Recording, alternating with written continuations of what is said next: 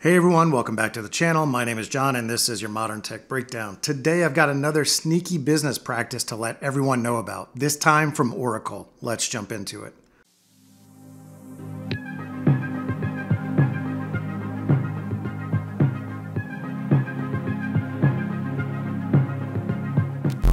So Oracle makes a virtualization product called VirtualBox, and I've used it a long, long time ago, and it worked really well for me at the time.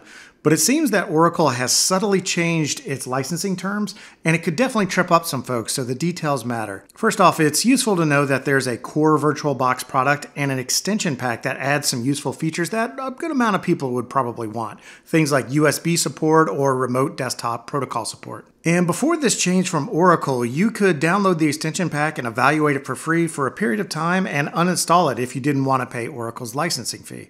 But now it seems that the evaluation is no longer a part of the license, and if you download it, Oracle is going to start harassing you to pay for a license. So, as this article explains, Oracle is more or less trying to trap you and force you to buy a license using fear tactics.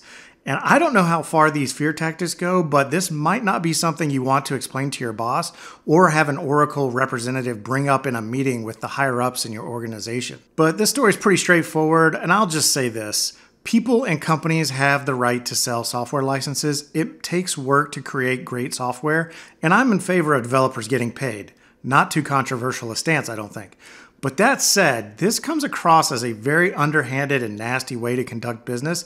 Just charge people upfront for the software and be clear about it. Trying to trick people into a trap that you want to spring on them is just not cool. But that's how Oracle works, I guess. Sadly, it's not too surprising. But if you're out there and you use VirtualBox, I'd strongly recommend that you consider another product where the maker isn't trying to trap you. There's so many options out there.